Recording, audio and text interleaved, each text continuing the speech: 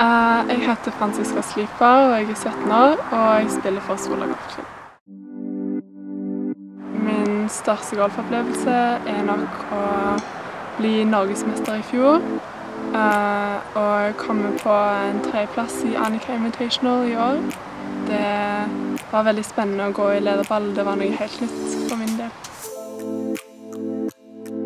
I det, min styrke har i det siste vært eh, nærspillet og puttingen, da, som har forbedra forbedret seg veldig mye, som har gjort det mye lettere for meg å skåre bedre.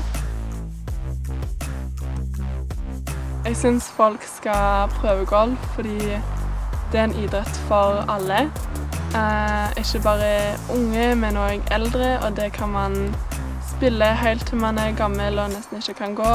Og det får liksom alle sammen, og det er veldig fint når det er bra vær, og det er utrolig gøy å spille golf.